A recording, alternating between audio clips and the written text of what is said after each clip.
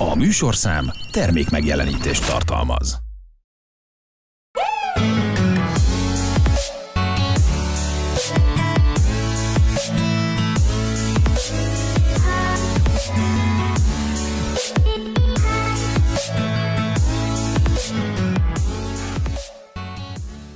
Szeretettel köszöntöm Önöket, a nálatok mizut látják. Ahogy látják, kedves nézőink, visszakerültem a műsorvezetői székbe. Azok, akik követték az elmúlt adásunkat, láthatták, hogy az előző adásnak a műsorvezetője Cserpakovics András polgármester volt. De ugye ez a történet most lezáródott, majd lesz olyan is, amikor megint az állandó csapatunk visszatér, és akkor megint más lesz a műsorvezető, de most egyelőre hetekig én fogok ebben a székben ülni biztosan. És azt gondolom, hogy a mai vendégeimet is megérte meghívni, mert már nagyon régóta tervezem, nagyon sokszor látom őket, és mindig akkor, amikor látom őket, akkor gondolkodom, hogy miért nem hívtam még meg őket ebbe a műsorba, mert szerintem itt Székesfehérvárnak, és hát nyilván az országnak is lehetnétek egy jégkövei, de itt Fehérváron szerintem azt mondom, hogy mi nagyon büszkék lehetünk erre a csapatra, mert akik elmennek szórakozni azok, itt a városban, azok biztosan, hogy nagyon jó szórakozásra lelnek, hogyha ti veletek találkoznak. Ezt magam is tapasztaltam nagyon sokszor, úgyhogy nagy szeretettel köszöntöm itt a stúdióban a Discover Band néhány tagját a teljesség igénye nélkül, hiszen ennyien nem is férnétek be, meg szerintem nagyon nehéz is lenne összeegyeztetni Úgyhogy akkor név szerint mondanám, hogy kik a vendégeink. Látrányi Gabi, aki egyébként az ének, ének és vokál részét viszi az egyik oldalról az együttesben. Örülök, hogy itt vagy újra, majd elmondjuk, hogy miért. Igen, én köszönöm szépen a meghívást ismételben. Eltelt ugye azóta már jó pár év, hogy nálam legalábbis vendég voltál, de erről is majd fogunk egy kicsit beszélni. Nem változtál semmit. Köszi. Te sem. Köszönöm szépen. Itt van velünk Jung Feri is, aki hát szintén ének, vokál és szaxofon Igen. ugye ebben a felállásban, és hát téged nagyon sokszor ilyen szép csodákban lehet látni. Igen, igen, ez az én nagy drámám, mert eh, ha én szupersztár lennék, aki szeretne elbújni a közönség elől, akkor örülnék, hogy senki nem ismer fel, de így, hogy megyek a, tényleg bemegyek a boltba és senki nem tudja, hogy ki vagyok, ez egy kicsit úgy néha fáj, de igazándiból nem, nem törődök vele. Igazából nekem az a lényeg, hogy amikor ott állunk a színpadon, itt tényleg ebben az egész uh, Discover setben, akkor jól érezzük magunkat és a közönség is. Mm. És én is köszöntök mindenkit, és téged is. Nagyon örülök, hogy itt vagy te is. És itt van velünk Dobos Péter, aki nem dobos, hanem basszusgitáros ebben az együttesben. Ezt sokszor megkaptam már, igen. Csak ugye a nevem Dobos Péter, de a basszusgitárosként játszom a Discover Bandben. Illetve hát nagy részt én szervezem a zenekarnak a, az ilyen háttér dolgait, a, én csinálom a, az oldalunkat, én szervezem a próbákat, én hozom mondjuk ilyen döntés előkészítő helyzetben, hogy milyen dalokkal foglalkozunk, meg ilyesmi. Aha. Tehát akkor Szavaz, szavazással dőlnek el a dolgok, de azt, hogy pontosan mi is az, amiről szó van, az, azokat én készítem elő a, uh-huh a zenekar Ez egy demo, akkor... demokratikus zenekar, mindig, mint, a, mint azért ilyen bizottsági üléseken készfeltétellel kell megszavazni, hogy, hogy milyen dal. Hanem, hanem is készfeltétellel, de, de, de tényleg, de igen, olyan dalok mennek csak át a, a, a műsorba, amit a zenekar többsége támogat. Uh, és akkor ehhez nyilván nehéz kiválasztani dalokat, de ezeket uh-huh. én, mhm. én koordinálom, hogy ezek igen. így... És amit a Péter jóvá hagy, ugye? Hát igen, mert van egy, van egy szigorú korlátja ennek a dolognak. Ugye a, a zenekar úgy alakult meg, hogy a, a diszkónak ezt az első klasszikus korszakát játszuk, ami nagyjából 1974-től 82-ig tartott. Ö, ö, e, diszkó és funky dalokat ebből a korszakból. Uh-huh. Ö, tehát amikor bármiféle ilyen vadhajtásként kijönnek mindenféle ötletek, ami mondjuk stílusban valamennyire nagyjából beleférne, de nem akkori, vagy ö, akkori, de tök más stílus, akkor azokat mm-hmm. tulajdonképpen én szoktam Péter kigyom, kigyomlálni a, a dolgokat. Sem stílusban, sem korszakban nem passzol. És akkor kész. Igen. Hát igen, mert hogyha ha ez nem lenne, akkor, akkor a zenekar már valószínűleg elment volna egy egészen más irányba, akkor már mindenfélét játszanánk. Aha. Így viszont, hogy egyértelmű az irányvonal, azt gondolom, hogy ezt, ezt várja a közönség tőlünk, hogy ez a zenekar ezt a műfajt játsza, meg hát ebbe tettünk most már bele 8 év munkát. Uh-huh. Pedig azért szerintem nagyon sok mindent lehetne tőletek hallgatni. Tehát, hogy ö, akár maiakat is. Vagy nem tudom, lehet, hogy van az a réteg, akik tényleg ragaszkodnak a 70-es, 80-as évekhez. Ez egy nagyon érdekes kérdés, mert én vagyok mindig az, aki azt szoktam mondani, hogy mi lenne, hogyha a Discover Band, de tényleg mi vagyunk a 70-es, 80-as éveket játszó Discover Band, de lehetne ilyen kis kalandozás a 90-es, 2000-es évekbe, ezt így föl szoktam dobni, de igazándiból én sem bánom, hogy ez így marad, mert tényleg én is attól tartok, hogy akkor nagyon elmennék más irányba, viszont mindig megfordul a fejembe, hogyha például megcsinálnánk Discoveres hangszerelésben néhány mai slágert, vagy régebbi slágereket. Ugye mindenki ezt csinál, hogy előszednek régi slágereket a saját hangszerelésükbe, saját szájuk íze szerint megcsinálják, és én is mindig gondolkodom, hogy miket lehetne csinálni. Egyelőre még nem jutottunk el, de lehet, hogy az idő múlásával változnak az igények, változik majd a felfogás, és akkor talán lehet, hogy majd lesz ilyen is, de egyelőre tényleg úgy vagyunk vele, hogy aki Discover, én azt tudja, hogy az Abba, a Boniem, az Eruption, az Otta van, a Gloria Gaynor, tehát ez a 70-es, 80-as mhm. évek. Én azt tőlünk. gondolom erről, hogy, a, hogy van sok zenekar, ami minden slágert játszik, de az egy, én azt gondolom, hogy az egy másik vonal. Igen, mi, mi nem ezt képviseljük. Ugye a, a zenekar nevének az eredete is ugye a, a Discover Band, mm. ugye tulajdonképpen három olvasata van, ugye ez a szó jelentése, a, a, a Discover, tehát fel, ugye a felfedezés, de ugye van az az olvasat, hogy Disc Over, tehát vége a lemezek, uh-huh. ez ugye arra utal, hogy élőben játszik a zenekar, mindig szigorúan élőben uh-huh. játszunk, soha nincs playback, nincs fél playback, meg ilyesmi, hanem élőben. uh-huh. Illetve van a, a disco cover, uh-huh. tehát disco feldolgozást játszó zenekar. Ez a, ah, ezt is a Petya hát találta ki. Nem is gondoltam bele. Ez számomra is újdonság. Én ezt tudtam. Ez már akkor is megvolt, ez már Igen. a kezdetek kezdetén. Ezt soha nem gondoltam volna, hogy ennyiféle olvasata Igen. lehet ennek. De tök mindegy, hogy mi az olvasata, mert amúgy akárhova megyünk, a színpadon a Discovery-ben. Igen. igen. Ezt már, igen. Nagyon, most már viccből én is néha így szoktam felkonferálni magunkat, mert miért ne, poénból, de alapvetően tényleg ez a disco cover, discover, és ez is a Petyának az nagy szüleménye, úgyhogy szeretjük a Petyát. Ezt egyszer így hajnalban fölébredtem, így megébredtek, és akkor no, valami zenekar névkönyv, disco, disco, disco, disco, disco, discover, disco cover, nagyon jó. És akkor Aha. így, aztán megírtam rögtön reggel egy e-mailbe ugye a zenekariba, és aztán ez keresztül is ment, ez már mindjárt a uh-huh. kezdetek kezdetén. Na, egy picit mindjárt beszélünk erről, csak még annyit szerettem volna, hogy zárójelbe hozzátenni. Én azért örülök nektek egyébként, mert valahogy még amikor a diszkó korszakomban voltam, most én így még egy icike-picikével fiatalabb koromban, mert még most is ugye fiatal vagyok, de amikor még nagyon jártam bulizni, és még mondjuk nem nagyon voltak ilyen helyek, ahol el lehetett menni, mint most, meg nem voltak ilyen nagyon szabadtéri dolgok, ahol mondjuk egy szilvesztert veletek el lehetett volna tölteni, hanem mondjuk a diszkóba bement az ember, és akkor mondjuk nagyon sokszor így ez a levezető része volt talán, nem, nem tudom mennyire emlékeztek, de hogy nagyon sokszor bedobták akkor az abbát már, meg a boniemet, meg mindenfélét, és valahogy ott annyiszor hallottam, és annyiszor már, már unásig mentek ezek a dolgok, hogy, hogy valahogy én legalábbis úgy vagyok vele, hogy egy kicsit úgy belecsömörlöttem már ebbe. Amikor a rádióban egy-egy számot meghal az ember, hogy jaj, de jó, jaj, de jó, de már úgy lapozzunk már, és valahogy én így voltam vele, pedig egyébként önmagában nagyon szeretem az abbát is, meg a, a mindegyiket, de hogy így néha már sok volt, és amikor ti tőletek először hallottam, most nem tudom, hogy ez egy szilveszter volt talán, hát megbolondult mindenki veletek együtt. Tehát lehet, hogy azért is szeretünk mi titeket annyira, mert ti annyira bolondok vagytok a színpadon szerintem, hogy, hogy tényleg fölrázzátok az embert, és, és szereti azokat a tényleg unásig hallgatott zenéket, amik, és valahogy más a hangulata is, amikor ti játszátok. Nekem ez a kis személyes tapasztalatom. Hát tulajdonképpen az is a nagy szerencse ennél a zenekarnál, hogy például a tagok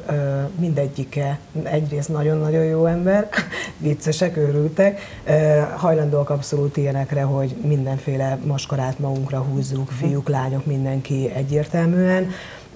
Zeneileg én, én nagyon büszke vagyok a, a zenésztársakra, mert hihetetlen precizitással szedik le a nótákat, és hát ugye Petya vezérlene alatt, hogy már pedig az úgy van, és azt úgy, úgy kell játszani, és itt ilyen Igen, a koncepció része, hogy, hogy megpróbáljuk nem átírni a dalokat, hanem úgy eljátszani, ahogy uh-huh. eredetiben megszületett, ami nem minden valósítható meg, mert, mert ahhoz még a héttagú zenekar is kevés, amennyi mondjuk egy abba vagy Boniem dalban, ahány hangszert eljátszanak, uh-huh. ahány hangszer játszik, az, az ennyi, ahhoz ennyi ember nem elég, az 30-an kellenénk a színpadra. de, de amit csak lehet mindent az eredetiből megpróbálunk átvenni és úgy játszani, ahogy.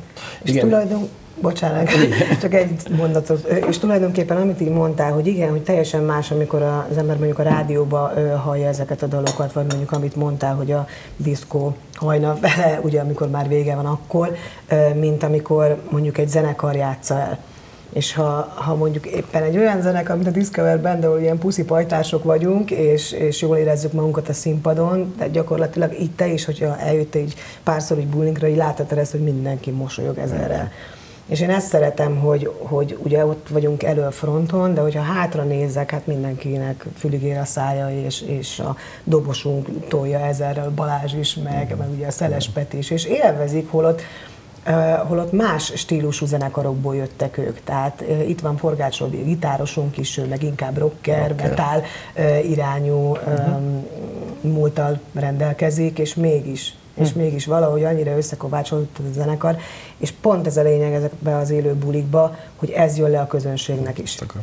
Tehát lehetnek itt félrenyulások, lehetnek itt rontások, lehetnek hamis hangok, teljesen mindegy, mert mert a, a közönség igenis nagyon jól érzi ezt, és látja ezt, hogy ez a zenekar, ez, ez így egész, ahogy van ezekkel a tagokkal, és lejön ez az életérzés, uh-huh. amit így a meg, hát pont meg, meg egymás felé alázattal és tisztelettel Ez, Ezt szerettem volna mondani én is, hogy, hogy annyiszor meg, megkaptuk a közönségtől, hogy annyira látszik, hogy élvezitek, és ez tényleg így működik, hogy elindul egy ilyen energiaáramlás, felmegyünk, én olyan vagyok, hogyha felmegyek a színpadra, az nekem egy más dimenzió, ott bármilyen rossz napom volt esetleg korábban, ott valahogy ez így nekem teljesen megszűnik, és hogy én elkezdek énekelni, meghallom a zenekart, eleve ennek van egy számomra egy ilyen varázslatos hatása, ha már hallom a, a ritmus szekciót, akkor a, a, főleg amikor bejönnek a vokálok, én ezt nagyon imádom, és akkor rám jön egy ilyen flow, most mai fiatalos szóval élve, és akkor ez az energia egy elkezd átmenni a közönségre, a közönséget egy el magával viszi, és utána az ő energiáik mind visszajönnek, és akkor oda-vissza uh-huh. pattog ez az egész. Igen, egy és, és akkor részre, a, igen, tényleg Minél jobban a, a zenekar uh, beleéli magát a közönség is annál inkább, és ahogy a közönségtől jön a, az energia, meg a buli, akkor a színpadon uh-huh. érzi az ember, és még inkább. Uh-huh. Így van, tehát ezek az energiák oda-vissza mennek, és, és ettől lesz olyan olyan tényleg olyan felfokozott az egésznek a hangulata. Engem meg ez spanol, mindig szoktam mondani, hogy nekem ez a drog, nem kell semmi uh-huh. más. Úgyhogy tényleg ez a zenélés nekünk a feszültségoldó, meg tényleg én már úgy hívom, hogy a Discover család, mert, mert, nagyon-nagyon jó a közösség és nagyon jó a barátság, soha semmiféle olyan jellegű nagy vita nem volt. Ha bármi nézeteltérés van, de az, az leg, leginkább azon szokott, hogy mit játszunk. az szokott se lenni. Se stílusban. De, de, de, de, tényleg de, csak nézeteltérés igen, szintjén. Tehát, tehát nem vita, volt, hangos szó még, még soha nem, volt. volt. Nem és volt ez, soha és ez, ez pont óvjuk, féltjük, és azt mondjuk, hogy tényleg mindent, hál' Istennek egy megfelelő intelligencia szint van a zenekarban, hogy nem alacsonyodunk le olyan szintre, hogy mondjuk bármi olyat mondjunk egymásnak, ami sértő, bántó lenne. Hmm és pont ez, ezért van meg ez a, ez a jó kis harmónia. Szószéd, ha már zenei dologról beszélünk, akkor egy jó harmónia van a, a zenekar tagok között is. És tényleg az van, hogy amikor oda megy az ember a bulitokra, én nem tudom, hogy ti jártatok-e már úgy, mert azért céges rendezvényen Ilyen oldalról ti is jártatok, meg én is járok, hogy mondjuk sokat konferálok, és ti meg ugye ott sok helyen zenéltek, de hogy így néha voltunk már olyan helyen szerintem, ahol ilyen teljesen unott bagázsot ült, és akkor hát ezeket az Isten nem fogja fölrázni. Én azt nem tudom elképzelni, hogy ti, ti ne tudnátok egy unott bandát fölrázni. Van ehhez, van, ehhez, van ehhez eszközöm. Én is úgy szoktam felkonferálni, hogy, hogy nem csak szakszofonos, nem csak énekes és vokálozik, hanem showman. Tehát neki van egy olyan fajta érzéke ahhoz, hogy hogyan fogja meg az embereket, így szóban, meg zenében is egyaránt, de a, neki főleg a szavak azok, amik Igen, így fú, egyből van beszélőkője, mint ahogy halljátok is, hogy, hogy egyszerűen magával ragadja az embereket. Tehát nem nyugszik addig, amíg, amíg mondjuk legalább egy pár nem táncol, és hogyha már egy pár táncol, akkor már egyből ajándékok, akkor ja, ti az első táncoló pár, Igen. és akkor azért, igen. azért szok, tehát motiváló erő is van, mert ugye van zenekari baseball sapka, nyakbakasztó, hűtőmágnes, szóróanyag, meg most már lesz kitűző lesz kitűző is, úgyhogy én szoktunk. De az az érdekes, hogy például ilyen városi rendezvényeken én valahogy mindig meglátom, hogy kinek csillog ugye a legjobban a szeme, akkor a anyuka a gyerekkel odajön, nekik adok egyet, akkor ők már ott maradnak, akkor mindig szokott lenni ilyen tánc mozdulat, amit betanítok uh-huh. a, a, például a hands up elején, uh-huh. hogy lent csattint, fönt integet, és akkor, akkor már elindul egy ilyen közös táncolás. elkezdik ezt másolni, Meg aztán jön a vonatozás, ugye a long train runningnál, akkor rádiós mikrofonnal lemegyek, vagy kiválasztok egy kék ruhás hölgyet, hogy ő legyen a, a mozdonyvezető. És, akkor, és, akkor, és akkor ezzel már elindul. Nyilván meg kell találni azt, hogy ne legyen ez túlságosan ilyen terhes vagy nyomasztó, mert azért látszik, aki hátrahúzódóbb vagy zárkozottabb, nyilván őket nem szoktam ezzel így vegzelni, de, de alapvetően mindig van egy-két olyan ember, aki nyitottabb az egészre, és akkor őt kiválasztom, vele egy picit beszélgetek, tehát alapvetően azt vettem észre, hogy az embereknek szükségük van arra, hogy, hogy így hozzájuk szóljanak. Tehát ez, mi nem azok a zenekarok vagyunk, vagy nem az a zenekar vagyunk, aki fölmegy, előadja a nagy művészetét, majd lemegy, hanem mi együtt élünk a közönséggel. És, szerintem ez a És legfontosabb. nincs mesterkétség. Igen, pont Tehát ez a humor és Igen. természetesség. A humor az nagyon fontos, és ez a, a Fecónak nagyon-nagyon jól megy. Köszönöm Tehát mivel hogy ő áll ugye a mikrofonnál, egyébként mindenki vicces a zenekarban, mindenkinek van humorérzéke. Tehát amikor mi elmegyünk mondjuk egy messzebb útra kis buszba, hát ott, ott, ott szakadunk igen, a rögöstől. Tehát igen. az, az, az Festő néha fogni, hogy úristen, milyen jó fejemberekkel vagyok együtt Ugye, ráadásul. a Fecónak ez természetesen jön. Igen. Tehát Ne, nincs, Igen. nincs benne az az érzés, hogy na most egy ilyen kitalált szöveget nyom nekünk a csávó, és akkor próbál bevonzani, hanem őnek annyira természetes, hogy elhiszi a közönség, mert, mert igaz is, hogy Igen, a Fecó olyan, aki fölmegy, és bulizik a színpadon, és amikor azt mondja, hogy na akkor addig nem megyünk tovább, amíg mindenki nem tapsol, akkor mindenki tapsol. Meg pont az adott helyzetre is vonatkozik, az adott helyszínre, tehát az adott állapotra, körülményekre. Tehát ezért lehet tudni azt, hogy ő mondjuk nem tanulja be ezeket a szövegeket, Aha. hanem ez egy tényleg Igen. olyan agya van, meg olyan fantáziája, hogy Ja. így egyszerűen csak úgy jön belőle. Van egy-két, egyébként van egy-két klisé, például, de azt is tanultam régi öregektől, hogy mindenki fogja meg a párját, Párját, akinek nincs az a igen. kerékpárját, de ezek ilyen, ezek, ez, na egy-két ilyen, ilyen ezer éves szöveg van, de alapvetően tényleg ez nekem jön. Ez rögtönzött szöveg Ja. ami Igen. De köszönöm a sok dicsérő szót. Ezt, ezt mind alá tudom támasztani, mert ahányszor voltam ilyen rendezvényen, az biztos, hogyha nem is olyan kedvel mentem oda, akkor Na. ott azért sikerült mindig beindulni, és akkor mégiscsak egy jó nagy bulizás lett a vége, úgyhogy tök jó, jók vagytok. Köszönjük szépen. De szépen. akkor, ha már itt tartunk, picit menjünk akkor vissza a múltba, hogy végül is, hogy jöttetek ti össze, honnan az ismerettség. A Petya a történész. Most um, az elejét ti tudnátok jobban elmondani, mert ugye a, Én nem is a- a akartam ebbe a zenekarnak egy, egy ugye a, a Fecó Balázs, aki ugye dobol Kis Balázs, Meg a Forgács Robi. meg a Forgács Robi, meg ugye még a Takács Attila volt ugye Igen. a korai szereplő ebben a dologban, ők, ők együtt zenéltek régen. A nagy hírű sárga taxi a zenekarban. Sárga Taxi zenekarban. Tehát ők ismerték egymást nagyon-nagyon régről.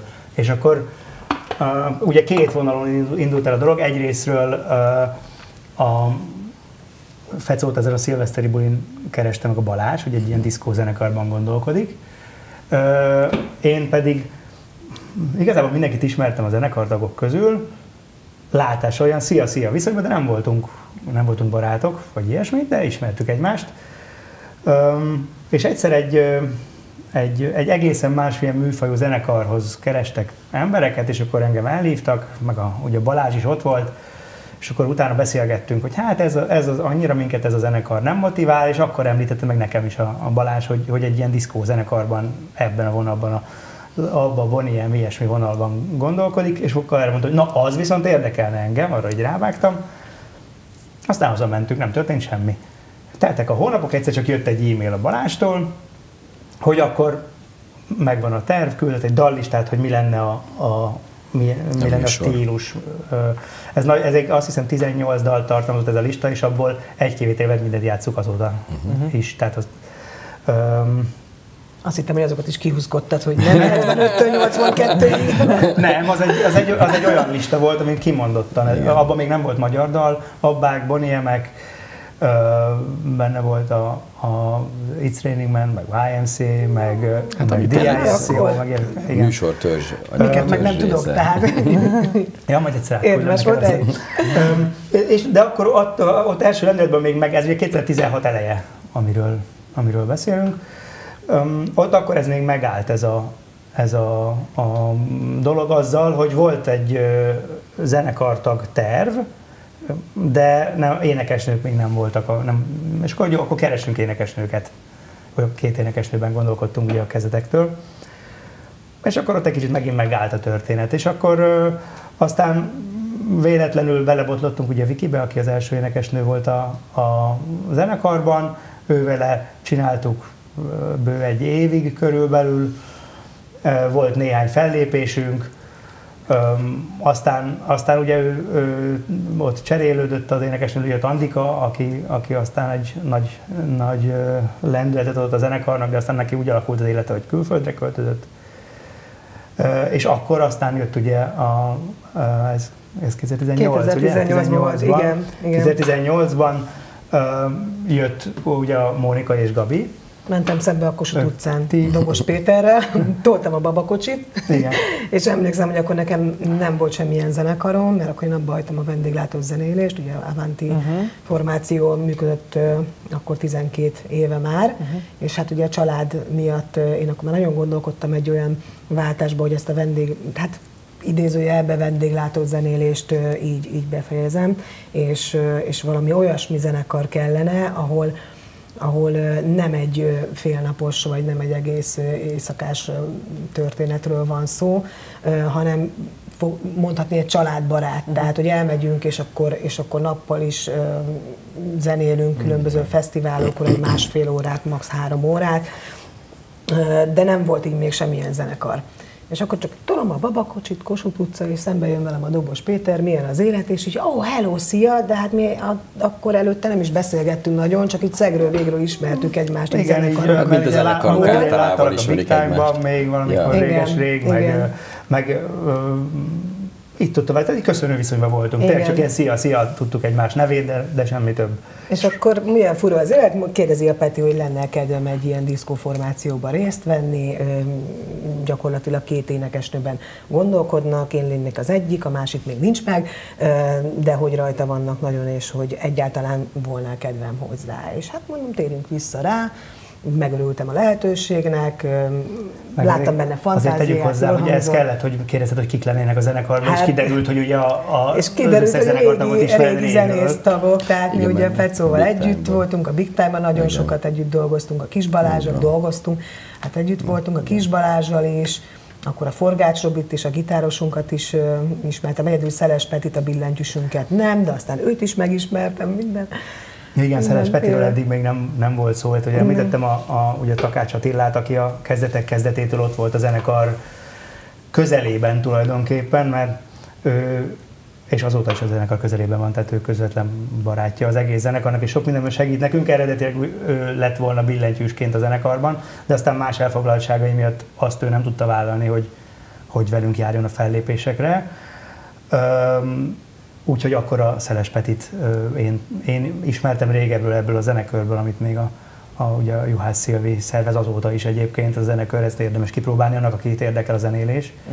Csütörtök. Ö, ö, én onnan én ismertem a Petit, én tudtam, hogy mindent el tud játszani, és akkor elhoztam a zenekarba, Öm, aztán szerencsére olyan lelkes tag lett belőle, aki azóta is, ugye ez még a legelején volt. A, 2018. Ne, ne, már hát még a leg, az csak egy pár próbáig volt, hogy az Attila billentyűzött, és akkor utána Jó, hát Peti akkor volt még A a, az elején.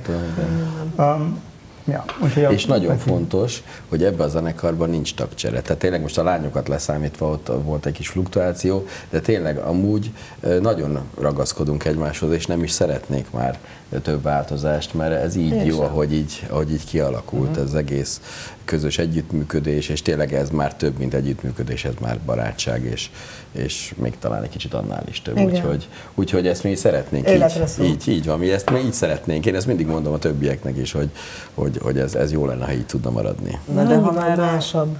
Tehát a, előfordul az, hogy, hogy bármilyen, bármilyen családiok, vagy, vagy bármi zenélés, mert ugye többiek zenélnek másik zenekarokban is, közbe jöhet, vagy, vagy vannak már felvállalt bulik más zenekarokkal, és akkor hívunk valakit, aki helyettesi, de más. Tehát nagyon, nagyon jó emberekről van szó, akik helyettesítenek mondjuk Robit, vagy... Igen, gitár, vagy... gitárfronton van a legtöbbször szükség erre, de, de akárhogy is van, mi de, azt szeretjük, a Robi. De nem ugyanaz, tehát nem ugyanaz, Igen. és akkor sírunk, rívunk utána, de nem azért, mert aki jön helyettesíteni, ő nem lenne jó szakmailag, vagy emberileg, csak más. Megszoktuk. Nincs úgy veletek, ahogy... Meg megszoktuk már És ezt. mi már annyira már minden egyes, már rám néz, aztán már tudom, ja, hogy mit akar. Most is látom, hogy én már csak ne néz.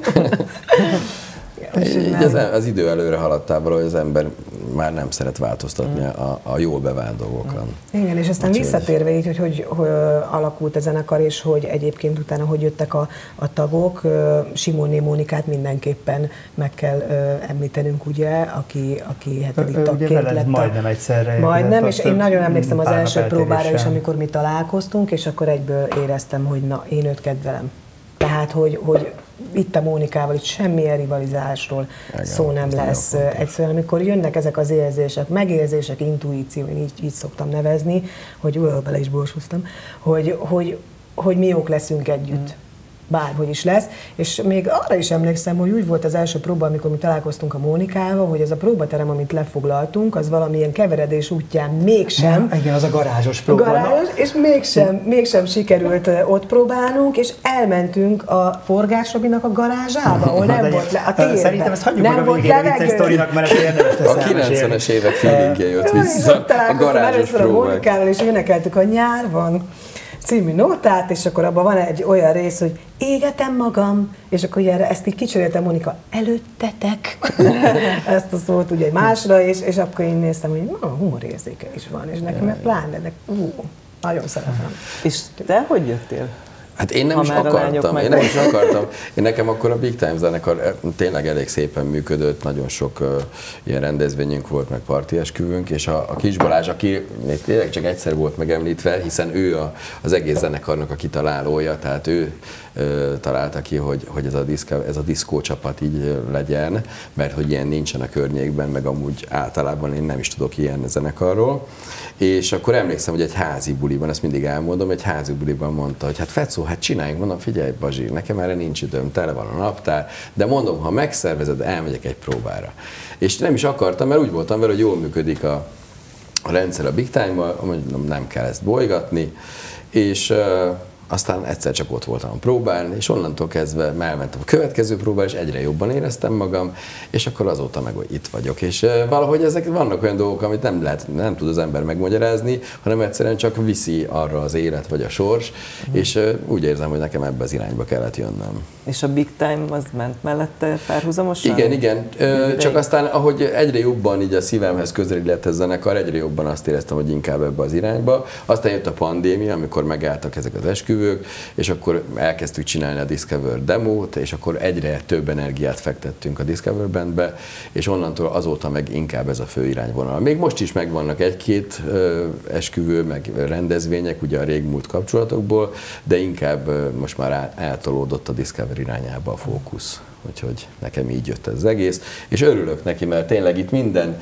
egyrészt minden zenei ötletemet meg tudom valósítani, tehát amit kitalálok. Majdnem minden, uh, majdnem 75 minden. és Úgy értem, hogy tényleg, hogyha nagyon sok ilyen mixet csinálunk, és, és tök sok ötletem van, és ebben a zenekarban ezt meg lehet valósítani, mert mindenki vevő rá, egy irányba gondolkodunk, nyitottság van, és vállalkozó szellem, és akarnak próbálni, ez nagyon fontos, mert nagyon sok zenekar ott bukik meg, hogy nem akarnak energiát belefektetni, és mi meg igenis próbálunk, megcsináljuk, kitaláljuk, koreográfiákat találunk ki, átmeneteket a dalok között, és, és ez, ez egy ez zenei élmény nekünk is egyébként, hogy nem csak lejátszuk a dalt, és a következő dal ez meg ez, hanem így átúszunk egyik dalból a másikba. Ja, igen, hát el lehet úgy játszani dalokat, hogy, hogy meghallgató jó, nagyjából az úgy, és akkor eljátszuk, és akkor lesz valamilyen, de azért mi az elmúlt nyolc évet azzal töltöttük, hogy, hogy megtanultuk a dalokat úgy, ahogy eredetileg vannak, és akkor ezért sokszor, sokszor halljuk is azt a, a, a nézőktől, hogy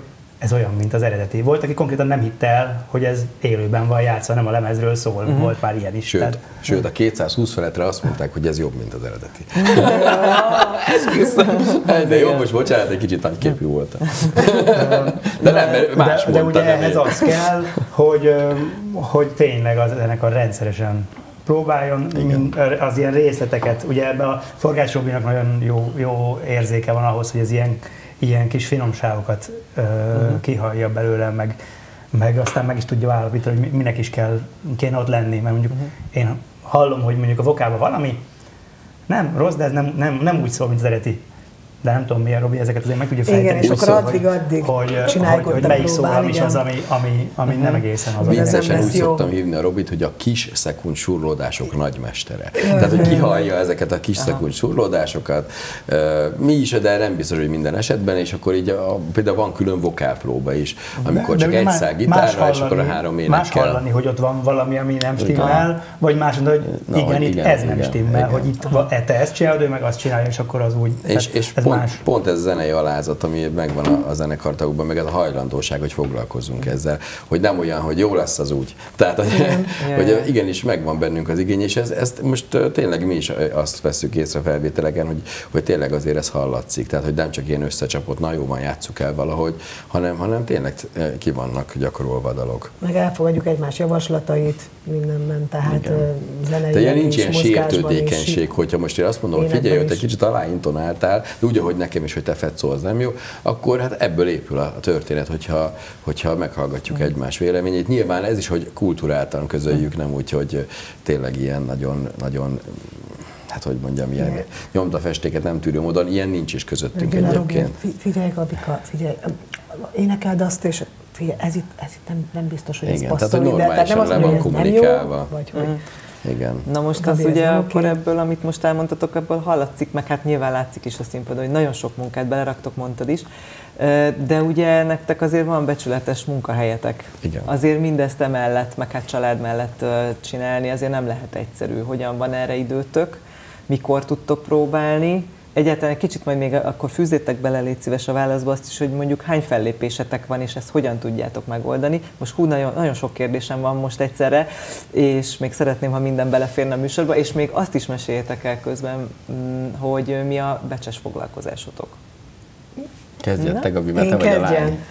Jó, én a Fejévár megyei kormányhivatal környezetvédelmi, természetvédelmi és hulladékgazdálkodási főosztályán dolgozom. Hú, azon belül is-.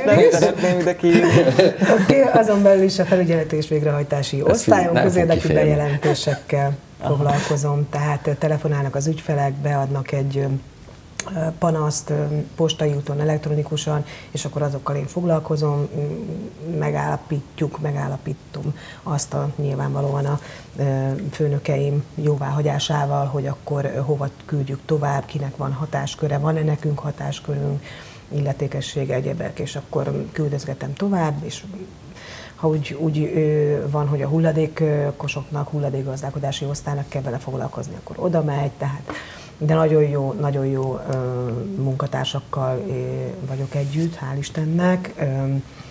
Ehhez képest, hogy panaszokkal foglalkozunk, eh, ahhoz képest nyugodt eh, munkahelynek mondhatom, és nyugodt munkának. Eh, nagyon jó főnökeim vannak, tényleg le a kalappal, eh, és nekem ez így kitölti a hétköznapjaimat. Meg a így- gyerekek is, ugye gondolom. Igen, igen, gyerekek is, igen. És hát akkor ez mellett még a- az összes fellépés próbált meg mindent besűríteni, ezt hogy tudod? Hát uh, itt most muszáj kicsit rácsatlakoznom erre, mert úgy a zenekar történetének az elmesélésekor ugye ott nem értünk a végére, mert elterelődött. Most ugye meg kell említenünk, hogy uh, ugye ahhoz, hogy a Gabi életébe beleférjen a zenekar, ehhez kellett az, hogy lett egy, egy új tagunk, a Barbie, uh-huh. uh, aki tulajdonképpen um, Gabi és Barbie a bulik felét-felét ö, vállalják, ugye így, így fér be, hogy Barbie is ö, pici babával otthon, Gabi is is, amikor gyerekekkel gyerekekkel ö, és ahhoz, hogy, hogy ö, így családbarát tudjon maradni a, a zenekar, ö, ehhez ö, tulajdonképpen lett egy egymást váltják, a, ugye, aki, aki ahogy bele tudja illeszteni a- az életébe a, a fellépést, De ez csak a kisebb bulikra vonatkozik, nem? Tehát amikor mondjuk egy szilveszter van, vagy ilyen nagy buli, akkor ketten szoktatok ott énekelni, nem? Hát Mindig, mindig, Mindenképpen Mónika mindig. ketten. Mónika mindig Tehát van. mindenképpen Ja, ketten Mónika Mindig van. vannak, Mónika és Gabi, vagy Mónika és Ja, Barbie, értem. illetve volt Aha. már egyébként Gabi és Barbie, és Jó, is akkor nagyon azért Igen, volt az, hogy meglepődtem, hogy miért van más lány melletted, de akkor most már Hát jó. ilyen műszak, műszakban vannak a lányok. Igen, páros A- páratlanba. A7, B7, páros páratlan hét, és akkor így kapnak műszakpótlékot is. Igen, de erről nyilván, a közönséget is tájékoztatjuk. Tehát már eleve úgy mennek a promotálások, a reklámozás, hogy a fellépéseknek igen, igen a reklámja, hogy, hogy megvannak most már külön ezek a képek, fotók, készítettünk videókat is, hogy amikor éppen a Barbie megy, akkor ne tévesszük meg a közönséget, hogy nem én leszek, hanem akkor ő lesz, és akkor már eleve a Facebookon és meg minden egyes más fórumon úgy van fönn a plakát is, meg a reklám is, hogy akkor a Barbie és Mónika, amikor meg én megyek, ugye ezek a páratlan ö, heteket teszik ki, vagy hétvégéket, ö, akkor meg a, az én arcommal megy a zenekar, úgymond. Meg olyankor te szoktad hirdetni Igen, a Facebookon. igen, Tehát igen, olyan, igen, ez így, így lesz egyértelmű. Igen, igen. Na jó, akkor Gabiról már beszéltünk, te angol tanár Igen, vagy. igen. Én, én tényleg 20 éve ezzel foglalkozom. Én így is terveztem az életemet, hogy a tanítás és a zenélés az úgy együtt nagyon jól működik, hiszen a nyári szünetben lehet orvérzésig zenélni, és akkor olyankor nyugodtságban ki tudom magam hétköznap pihenni, és akkor így tényleg így, így a kettő nekem nagyon összefér. Én eredetileg egyébként idegenvezető szerettem volna lenni, mert nagyon szerettem már akkor is a nyelvet, de azt észrevettem, hogy az nem fér össze, mert ott a hétvégén is menni kell. És aztán végül is tényleg úgy döntöttem, hogy akkor ez angol tanárpálya, ez nekem nagyon tetszik, és, és akkor így, így fogom élni az életem, és hát így is élem. Úgyhogy van időm szerencsére nyáron, tényleg van időm bőven a zenekarral foglalkozni. Évközben pedig ugye, amikor mert ugye két iskolában tanítok, akkor azért menedzselni kell, tehát az időbeosztás nagyon fontos, a fiam is ugye megvan, hogy milyen napokon van velem, meg egy esti gimnáziumba is tanítok, és akkor utána megy, megyek még a, a próbára este, úgyhogy ma is pontosan Ma is. így lesz, hogy még innen most megyek vissza az esti gimbe, mondtam a gyerekeknek egy kicsit most ö, kések, de, de, de alapvetően össze tudom egyeztetni, tényleg menedzselni kell a dolgot, de szeretem, mert, mert mindegyiket szeretem, amit csinálok, és engem ez feltölt. Tehát annak ellenére, hogy sok esetben azért az általános iskolában nem könnyű a gyerekekkel a mai világban, de megfelelő kommunikációval azért el lehet érni azt, amit az ember szeretne, hogy átadni a tudást, nevelni őket, és, és így tényleg én, én, nekem a vég, végeredmény mindig pozitív. Tehát, hogy, hogy így, így jól érzem magam, és te nem azon, hogy jaj, nem szeretek bemenni tanítani. Tehát az is feltölt, és amennyire néha lesz szív, mondjuk az, hogy sok nehézség van, meg olyan esetlegesen nehezen kezelhető gyerekek, a másik ö, percben, egy másik osztályban meg csupa szeretetre méltó kisgyerek, és akkor az ember feltöltődik. Tehát ez egy ilyen, ez egy ilyen örök adok-kapok. Mondjuk azt a színpadi viselkedésedből nem tudnám elképzelni, hogy egy nagyon szigorú tanárbácsi legyél. Egyébként, egyébként, egyébként senki nem tudja, mindig el is kell mondjam, mert hogy el kell mondjam, hogyha új osztályba megyek, hogy, hogy annak ellenére, hogy Feri bácsi énekel, mert ma is például ugye a folyamatos jelentés tanultuk, és akkor volt egy kis kifejezés, és akkor elővettem hozzá Bob Dylannek a Knockin' on Heaven's Door-t, és akkor beraktam nekik az óra utolsó öt percébe, hogy, hogy hallják élőben is, és, és, és tényleg ez olyan olybá tűnik, hogy a Feri bácsi nagyon laza, de minden évben azzal kezdem, hogy vannak az órai szabályok, amiket be kell tartani, hogy tényleg jól tudjunk együttműködni. És hogy senkit ne tévesszem meg a Feri bácsi éneklése és a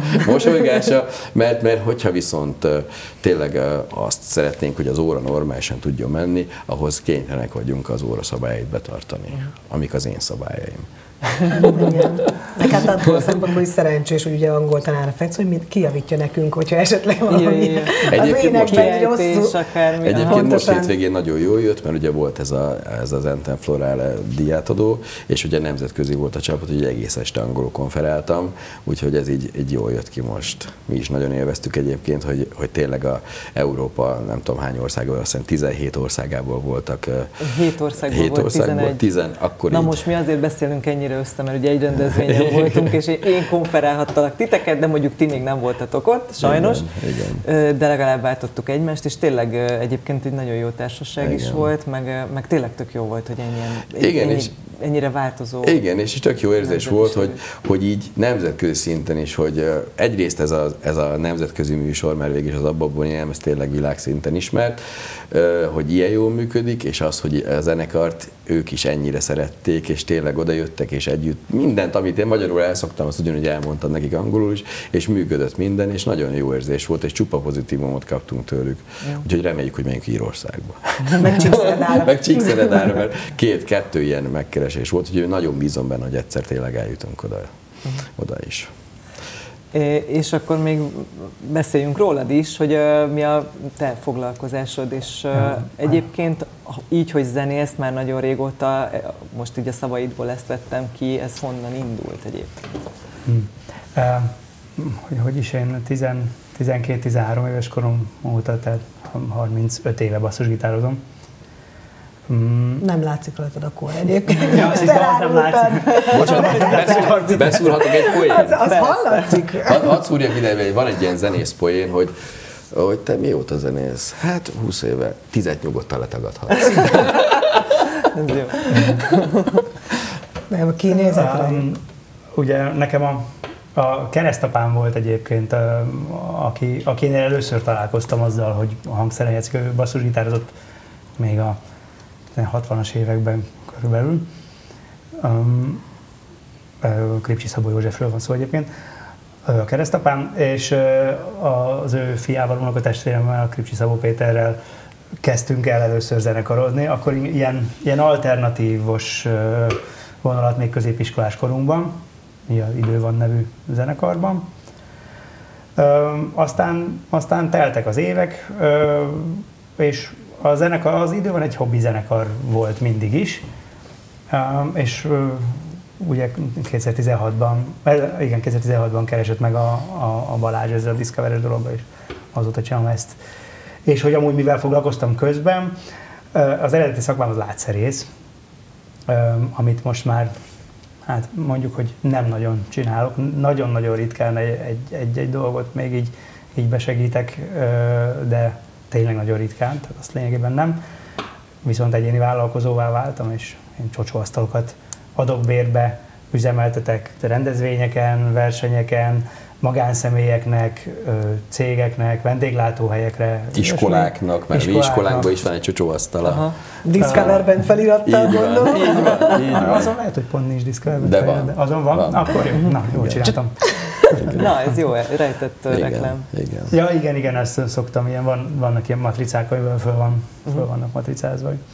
Úgyhogy ezzel, ezzel foglalkozom. A, szóval és ugye megkapom sokszor, hogy mert én ráérek, most ez kicsit úgy néz ki, hogy bármilyen időpontot szabaddá tudok tenni, de, de azt mindig úgy tudom szabad tenni, hogy más dolgokat meg elhalasztok azért. Én meg, nekem nincs órarend, ami szerint mennem kell, Ja. Viszont van épp elég mindenféle, amit intézni kell, de hogyha kell, akkor bármilyen időpontot szabaddá tudok. Viszont azt el kell róla mondani, hogy sokan azt hiszik, hogy ő tényleg a zenéből él, mert hogy mindig ráér, úgy látszólag, uh-huh. mindig ráér, meg hogy nincs úgy ö, ö, olyan munkahelye a Petinek, ö, amit tényleg be kell menni reggel 8-tól délután 4-ig, és hogy azt gondolják, hogy ilyen popstar, hogy a amit, Amúgy a rocker, amit, említettél, hogy téged nem ismernek meg. Ugye. Ugye Fecó Paró Igen. ilyen nagy ö, Mikrofon. mikrofon frizura parókában lép fel, napszemüvegben. Tök jól el tudod magad. És, és, és így könnyen lehet, hogy azért nem ismerek meg. Én- viszont ugye annyi, hogy rajtam van ez a csilli-villi kalap, de azon kívül ezzel az arcberendezéssel vagyok a színpadon. Tehát téged már mindenki egy- megismer. Most már egy, egy igen, az elmúlt két-három évben konkrétan már az zajlik, hogy megyek az utcán, és megállítanak az emberek, hogy ú, te vagy a, a Discover Bandből a vezető. Tehát most már, most már tényleg. Múlt héten, bocsáss meg, múlt héten játszottunk Balaton lenni nagy kedvenceinkön, lenyomtuk a bulit, és akkor hogy mindig ott utána kiülünk oda, vannak ilyen standok, ahol ilyen boros, sörös helyek, és leüldögélünk, és akkor mentem oda, és átöltözés után a zenekarhoz ott üldögéltek, és akkor volt egy társaság, hogy milyen jó ez zenekar, és akkor sziasztok, szia, te ki vagy? Hát én vagyok az én. Jaj, te vagy az énekes? Hát nagyon jó volt, hát ennyi. Mondom, tényleg semmi, tehát nem tudom miért felveszem ezt a szemüveget, meg azt a mikrofonhelyet, és teljesen elbújok a közönség elő. De nem baj, nem az a lényeg, igazándiból nem számít, csak, csak úgy tényleg egy ez érdekes történet.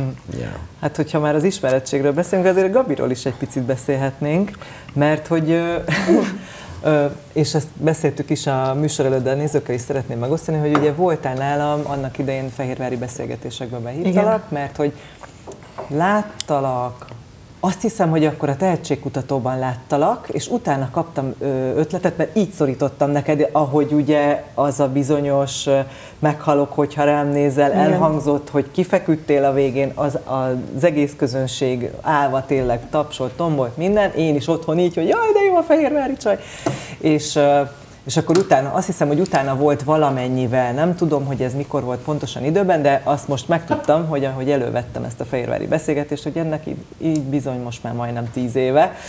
De megbeszéltük, hogy nem látszik De nem, mi, mi, nem ez csak, csak valahogy az idő véletlenül elmúlt, de egyébként, na mindegy, és hogy akkor beszéltünk erről, hogy honnan indultál, és hogy én előtte téged hol láttalak, mert hogy ugye volt egy Tomboy nevű egy, együttes, amiben te szerepeltél, és ugye videoklip is volt, kettő is, ha jól emlékszem, de lehet, hogy Igen, több, kettő. kettő.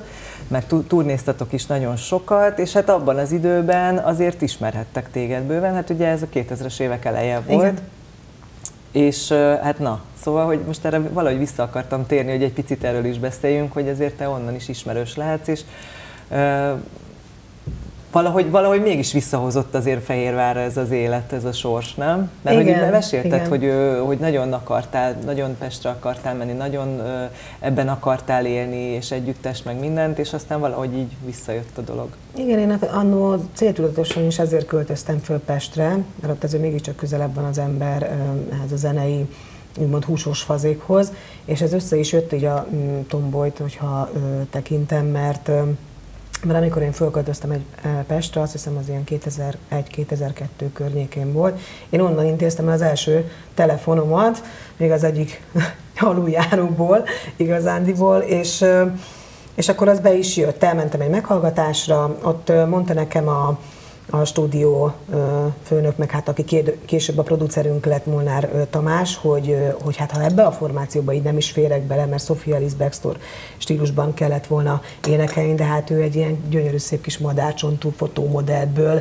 lett énekesnő, abba úgy nem passzoltam bele, amikor én bementem a kapucis pulcsimban, meg a baseball sapkámba, de azt mondta, hogy másba egyébként igen. És akkor arra gondolt, így ezt elmondta nekem telefonban, arra gondolt, hogy, hogy egy ilyen duo formációt hozna létre, ő írja a, a daloknak a zömét, de hogy tőlünk is vár így segítséget, így szövegileg, vagy esetleg dalszerzés szempontjából, és, és akkor egy másik hölgyel lennék együtt. És aztán így szépen észre se vettem egyébként, hogy gyakorlatilag egy év alatt olyan szinten megváltozott az életem, tehát egyik pillanatban még a, bocsánat, de tényleg konkrétan így történt, az aluljáróból telefonálok a producernek, a következő pillanatban meg mentünk a Warnerhez, ami akkor még ugye Warner volt, most már nem is tudom, mi lett a nevük, mert már össze-vissza vándorolnak ugye így a, a stúdiók aláírni a szerződést a Pásztor Jánossal, meg a Jós Pistával. Tehát, hogy, hogy ez egy ilyen, de ezt is így feldolgozni és felfogni.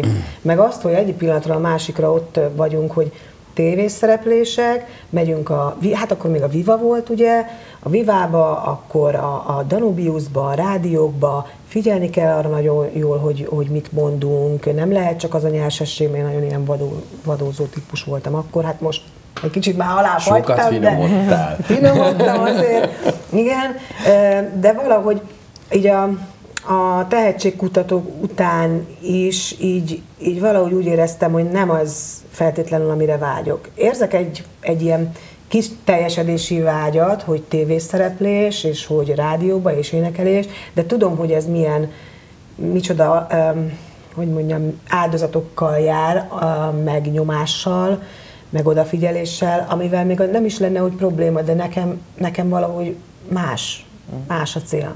Más így most már az életcél. Uh, inkább, inkább azt választom, hogy fölmegyünk a színpadra, és akkor mindenkivel jól érezzük Bizony. magunkat, és, és nincs az a muszáj állapot, és, és az a mosoly az tényleg őszintén jön. Uh-huh. És ez nekem fontos, tehát már így át, mérlegeltem a, a dolgokat. Szerettem azt az időszakot is, nagyon jó volt, nagyon sok élménnyel gazdagodtam, rengeteg jóval, rengeteg kapcsolattal, ismerősökkel, volt szerencsém nagyon jó zenészekkel találkozni, előadókkal, de, de nekem most már ez a lenyugvás, ez, ez kellett, és utána jött ugye a család, aztán a zenekar.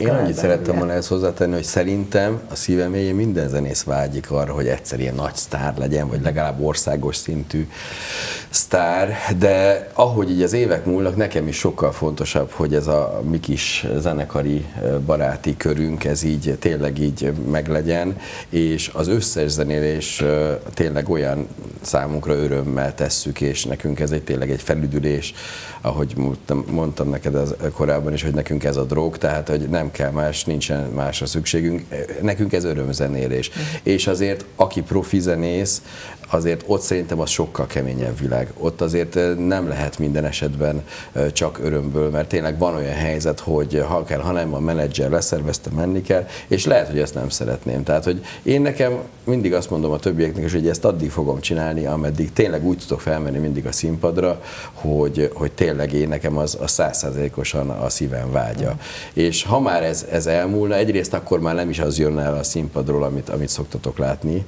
ugye a közönség, akkor már nem akarnám csinálni. Tehát nekem ez tényleg szívből jön.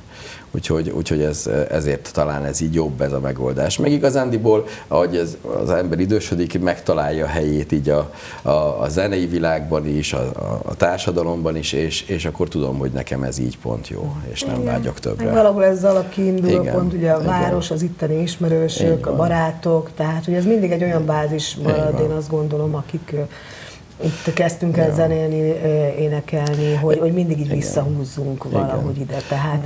Meg egyébként arról beszélgettünk, hogy ha most tényleg ez a zenekar, tényleg, mert elképzelt, hogy benne van a pakliban, hogy valaki felfigyel ránk, hogy, hogy tényleg lát bennünk fantáziát, hogy ki tudja, hogy hova vezetne, hogyha mondjuk minden héten két-három buli, hogy az lehet, sok esetben volt már ilyen a zene történetben, hogy, hogy pont amiatt mentek szét zenekarok, mert, mert megöli sajnos sok esetben az, az, a fajta, az a fajta feszített tempó, a zenekaroknak a, az életét. Van ilyen sok esetben. Mi inkább azt szeretjük, hogy van bőven elég buli, még menedzselhető a mi főállásunk mellett, és közben tényleg jó érzéssel, jó szájízzel tudunk fölmenni a színpadra. Ezt akartam is kérdezni, hogy mennyi bulitok van úgy nagyjából? Hát, az elmúlt pár évek tapasztalat az, hogy az ilyen 25-30 közötti fellépés van egy évben. Uh-huh. Mm, Tehát akkor nem az, hogy minden hétvégére jut, hanem... Nem, hát ugye a nyár az sűrűbb uh-huh. szokott lenni, Igen. de ugye vannak azok, a, azok az időszakok az évben, a januárban például nem nagyon van semmi, ugye február a farsang miatt az erősebb, aztán utána utána a nyár az, az, az, er, az végig erős, az végig, igen. Hát és minden. akkor utána a december megint erős, de vannak, vannak ilyen, ilyen kicsit üres járostosabb hónapok. De hát szerencsére most, most sorozatosan nagyon, nagyon ment, mert ugye most játszottunk múlt hétvégén is, de most, hét, most ugye 14-én szombaton a Petőfi Kultúrtanszékben most megkezdjük a klubszezont. Na, ezt szerettem volna, hogy egy kicsit akkor harangozzuk be, ha már lehetőség van rá, mert ugye most pénteki adás lévén, akkor másnapra egy jó kis program lehet ez Így a van. fehérváriaknak. Így van, a Petőfi Kultúrtanszik, aki most már az a harmadik szezonunk, ugye? A harmadik szezonunk itt a, a Petőfi Kultúrtanszéken, és, és nagyon megszerettük a helyet, a, a közönségünk is nagyon szeret oda ide járni. Úgyhogy nagyon várjuk már ezt a 14-ét, este 9 órai kezdettel, szeretettel várunk mindenkit, aki, aki ismer minket, aki meg még nem volt, az, az meg azért nagyon menjen. várjuk, hogy, hogy egy újdonságot mutathassunk neki. Egyébként, hogy a közönség részéről reflektáljak erre, egész nyáron az ment itt Fehérváron, hogy miért nincsen buli tehát, hogy ebben a városban sajnos nem annyi a lehetőség tényleg így nyáron, és hát jó, nyilván sok fesztiválunk is van, Igen. meg minden, meg van hova azért elmenni itt a környező helyekre, de hogy itt a városban nincs, hogy miért nincsen Petőfi. Jó, hát mondjuk lehet, hogy van egy kicsit megsül... Igen, Igen, de hogy megsülnénk esetleg Igen, ott Igen, bent, de, de hogy így hiányoztak ezek a bulik, és szerintem most sokan várják már, hogy más. Az a helyzet, hát hogy nyáron, nyáron ugye tényleg hála Istennek a Balatonpartján, a Balaton lelét nagyon szeret szeretjük, ott szoktunk nagyon sokat föllépni, most már az ötödik szezon csináltuk meg ott, ugye. Háromszor is Ugye volt a Fezen Fesztivál, most már harmadszor léptünk fel, sőt idén azért egy kicsit hadd dicsekedjek a, a Petőfi sátorba, az, azt úgy tudom, hogy 3000 fő sátor, és teljesen tele volt, és, és azért az egy tényleg egy szívmelengető érzés, amikor énekeltetem a közönséget, a, a Reptér című dallal, meg mi mással, és akkor egybe, egybehangzóan énekel a közönség és tapsol, azért ez, ez, ez olyan dolog, amit mindig utána mondok, na ezért érdemes csinálni. Mondjuk ezzel a dallal szerencsétek van. Óriási. De hogy még belefér, pedig aztán ma is láger lett. Kérdeztem, a, kérdeztem anyukámat, hogy, hogy, hogy ez a, ez a 70-es években volt, és kisfiam nem volt, ezt nem is ismerte senki. És ez a TikTokra felkerült, és onnan, onnan kezdett el nagyon 1979 2009-ben megjelent a, a dal, nem biztos, hogy mindenki tudja, de ugye ez Máté Péter szerzeménye Igen. ez a dal. Uh, uh, 1979-ben megjelent, és aztán eltelt több évtized, és nem és volt egy ismert. Én emlékszem, hogy ez hogy jött képbe. És akkor a TikTokra van ilyen tizenéves gyerekek föl. Jött a kisfiam az iskolából, és éneked, reptél, dobog a szélbe. Mondom, kisfiam, te mit éneked? Hát apa, fönt van a TikTokon. És ami fönt van a TikTokon, az menő. Egyébként hozzáteszem, hogy azt vettem észre, mert kicsik is járnak a, a, az ilyen lakossági koncertekre, tehát ilyen közületi koncertekre, hogy ami jó zene, az tök mindegy, hogy milyen korszakból való, ha jó a dallama, énekelhető, azt szeretik, tök mindegy, hány éves lehet, az tinédzser, és lehet középkorú, meg lehet idősebb is, és, és nem számít, azt vettem észre, és ami fülbe mászó, Tényleg, meg azért benne van, hogy ami a TikTokon van, az menő. Igen. És onnantól kezdve egy szányra kelt ez a dal, és azóta, évek óta nem lehet kiadni. Pedig azért el kell mondjak egy nagyon érdekes történeted. Na, kérdezted az elején, hogy, hogy, mi volt az a, hogy na, nekem ez egyetlen olyan történet van, akkor rátérhetek erre? Igen, hogy a... amúgy is akartam mondani, úgyhogy egy kicsit a felvezetést is hogy ezt nagyon nem akarták a srácok játszani. Én ö, próbáltam így forszírozni a dolgot, nyomatni, hogy játsszuk, mert imádja a közönség, de a ritmus szekció teljesen elhatárolódott, hogy nem, ezt nem lehet, mert ez nagyon nem, hát azért mégiscsak, mégiscsak Korda György, bla bla bla. De mondom, imádja a közönség, és hát diszkó, meg hát Máté Péter írta, hogy akkor miért nem játsszuk? Hát nem, nem. És akkor csináltam ilyen gerilla akciót, mondtam a Robinak, a gitárosnak, figyelj, mi játsszuk egy dóba a buli végén, és akkor sok bulit lenyomtunk úgy, hogy, hogy ő gitározta, és akkor én meg énekeltem, és a közönség ugyanúgy vette a lapot, tapsoltak, énekeltek. Akkor utána gerilla akció folytatódott, megbeszéltem a Szeles Peti, hogy ő meg tanulja meg azokat a részeket benne, amit a szintivel be kell játszani, becsatlakozott ő is, aztán a lányok meg rászálltak a vokálokkal. És volt egy zalai bulink, hol is, nem jut eszembe ez a zalai település. Mura keresztül. Mura keresztülről játszottunk, és akkor már csak, már csak gyakorlatilag a dobos meg a basszusgitáros nem játszott a zenekarból, és akkor én lementem, ahogy szoktam közönség közé, rádiós mikrofonnal, énekeltettem, így körbeálltunk, meg ugye megvonatoztattam őket, és akkor vége lett egy ilyen nagy körbe éneklés, és akkor mindenki tapsolt, meg énekelt, és egyszer csak azt mondtam, hogy és a doboknál Kis Balázs! És a Bacsi ott ült, nagy tapsot kérnék neki, és, és szegény, ugye nem tudott más csinálni, el kellett kezdeni a dobolni, és óriási ováció lett a végén. Közben kénytelen volt a, a Petya ja, is becsatlakozni. Szenes Petivel ott kommunikáltam, és akkor, hogy hogy van, mik vannak és akkor, és akkor, és, és akkor ő is becsatlakozott, és akkor az lett a vég, hogy óriási ováció, és akkor hogy felnéztem a színpadon, na, na látjátok? És azóta minden bulin játszuk, és mindig. És már tematikus a dolog, mert ilyen utazós dolog, nekem úgy össze, hogy szerelmes dolog, meg utazós dolog, és akkor van a long train running, a Don Quixote, a 220 felt, és akkor a végén van a reptér, és mindig megörül mindenki rá. Tehát nekem ez volt az a legemlékezetesebb történetem így a zenekar életében. Ó, nekem no, rengeteg. Nekem rengeteg ilyen van, és ne is arra gudjatok ezért, de nem tudok konkrétan kiemelni egyet, mert annyi annyi impulzus van állandóan, amikor, amikor mi ugye így együtt vagyunk és zenélünk, és rengeteg nevetés, és, és kis buszba, amikor beülnek ezek a fantasztikus emberek, és akkor és egyik poén után megy a másik poén, a kis pogácsa, a kis hólabda, meg a mit tudom, milyen sütik meg ezek. Na, Semmiből nincs egy ilyen leg? De az, az nagyjából közös szerintem, az a garázsos azért az jó. Ja, a garázsos, tényleg, hát a garázsos, igen, ezt egy Már érintettük és mondtuk, hogy tegyük félre erre. Uh, ugye volt egy fixált uh, időpontunk, hogy mikor próbálunk, akkor lett volna az első olyan próba, hogy Mónika és Gabi együtt, mert volt egy lefixált próbahelyünk. Aztán valamilyen kommunikációs probléma miatt kiderült, hogy azon a próbahelyen amúgy a tesódék játszottak aznap. Igen.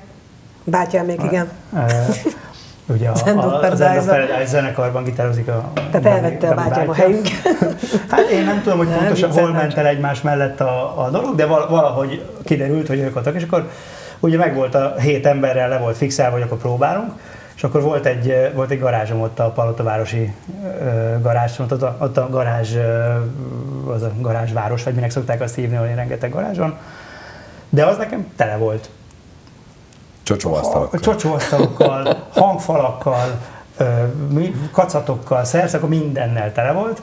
Úgyhogy azt tudtam csinálni, hogy az unokatestvéremnek a furgonját kölcsönként, de meg ülőgarnitúra volt benne, meg Igen, ilyenek. ez a szép piros. Hiszem. Úgyhogy mikor ez kiderült, akkor ilyen, ilyen kutyafuttába azonnal elkértem unokatestvéremtől a furgont. A furgonba bepakoltunk mindent, ami befért, így begyömöszöltünk mindent. Kiürítettük ott kb. egy óra alatt a garást, és akkor úgy próbáltunk, mint ahogy klasszikus garázszenekarok a, a, a, nem is tudom, A a 80-as 90 években. 80-as, 90-es években, hogy van egy nem, 16 négyzetméteres ilyen betongarázs, ahol ott vannak a hangfalak, nyitott garázsajtó, és akkor, és akkor ott ilyen rögtönzött megoldással akkor egyszer ott próbáltunk abban a garázsban, és úgy, az volt az első közös próbáltuk, és akkor rögtön kiderült, hogy, hogy így a megpróbáltatások ellenére ez azért nagyon működött ez a, Igen. ez a dolog ugye a két csaj között. Igen, én ezeket a pakolásokat szeretem nagyon, amikor elindulunk valami hosszú-hosszú útra, és akkor beülünk a buszba.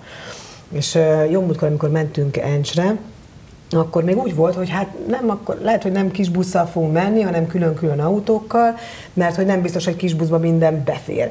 És akkor mondták, hát Fecó általában olyan, aki azt mondja, hogy izé nem, nincs lehetetlen, és akkor is megoldjuk, és ide higgyétek el, hogy mindent be tudunk majd izé tolni.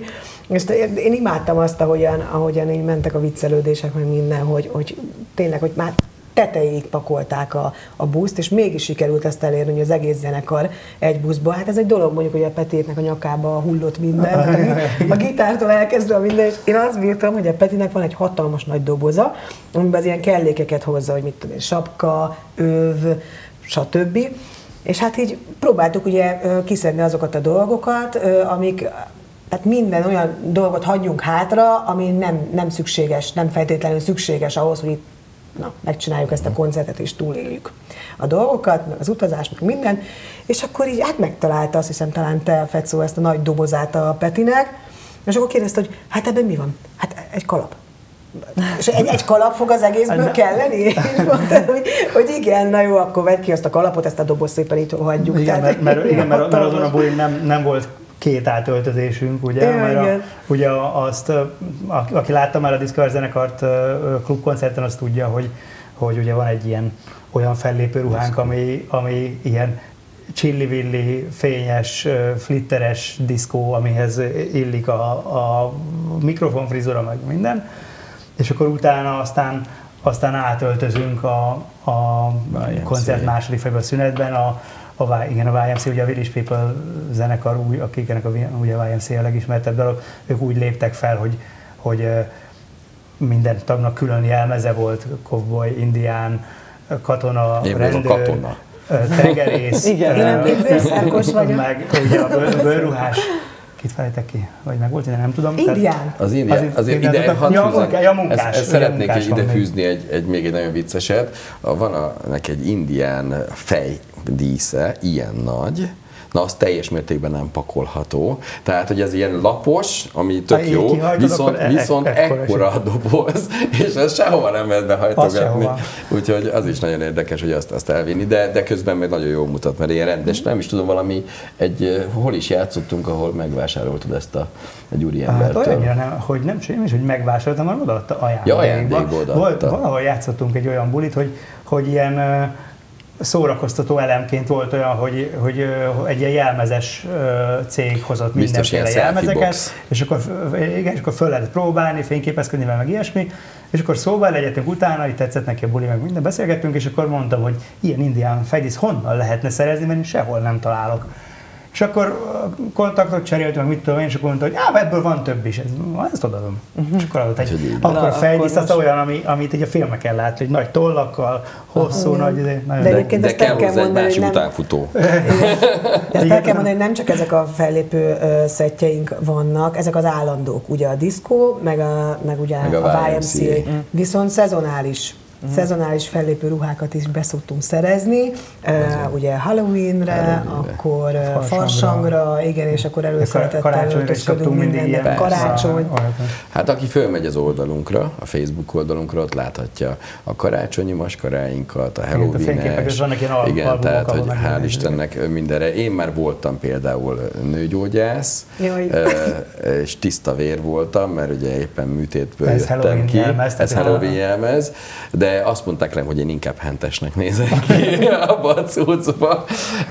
Meg voltam ugye hát Mikulásra beöltözve Mikulásnak, Ghostbustersnél el- elhoztam otthonról a, a, a, hogy hívják csövet, a porszívó csövet, és rátettem a gyereknek a Nerf pisztolyára, és azzal lőttem a közönség közé, ez volt a Ghostbuster cucc, és megcsinálva az a Ghostbuster jelmez, úgyhogy mindenfélét kitalálunk, és, és nem sajnáljuk rá az energiát, hogy, hogy, hogy megkeressük hozzá a cuccokat. És fantáziában nincs hiány. Ugye szerencsére ez, ez egyébként, mivel a közönség tudja, hogy, hogy ilyesmivel készül a zenekar is. Meg, hogy Nagyon sokszor a, a, tehát a közönségnek is az ilyen bulin jelentős része jelmezben érkezik. Olyan, olyan jelmezek szoktak lenni az ilyen tematikus bulikon, hogy, hogy csak így lesünk, és szoktunk És- is mindig egy jelmezversenyt csinálni, Igen. hogy így, Na, így meg, akkor- megajándékozzuk a, a jelmezeseket. Ugye ez a következő ilyen az majd a, az majd a. Halloween, nem, ja, Halloween, Halloween, Halloween lesz. Ja, Halloweenre, Halloween cuccba, de hogyha eljössz a februári bulinkra a, a Petőfi Ja, kultúrtanszékre, az- ott akkor beöltözöl, akkor te is nyerhetsz eh, láthatósági Discover Baseball sapkát, meg kitűzőt, meg nyakbakasztót, meg mindent. ö, pont most uh, szanáltuk otthon a gyerekekkel a cuccokat, és egy csomó jelmez, ö, kellék, mindenféle volt, és hoztam be ide a kollégáknak, mondom, hát ha valakinek szüksége van rá, de még tudom, hogy van otthon, úgyhogy Na. hogyha így lesz, akkor vagy magamnak elteszem, vagy nektek Jó. odaadom, hogy legyen később jelmezetek és kelléketek. Ah, Muszáj lesz sajnos itt véget vetnünk ennek a beszélgetésnek, pedig még órákig tudnálak titeket hallgatni, mert tényleg nagyon ö, jó a társaságotok, meg hát tényleg látom azt is, amit csináltok, amiről beszélünk, úgyhogy én nagyon örülök, hogy itt voltatok. Nagyon szépen köszönöm. Mi köszönjük a Köszönjük. meghívást, és Még köszönjük sokáig, sokáig zenéjetek nekünk, és szórakoztassatok minket. A proféta szóljon belőle. Köszönjük szépen, úgy legyen. Én is köszönöm, hogy itt voltatok. Önöknek pedig köszönjük a figyelmet. A mai műsorban a Discover Band néhány tagját hallhatták és láthatták. Tartsanak velünk legközelebb is. Viszontlátásra!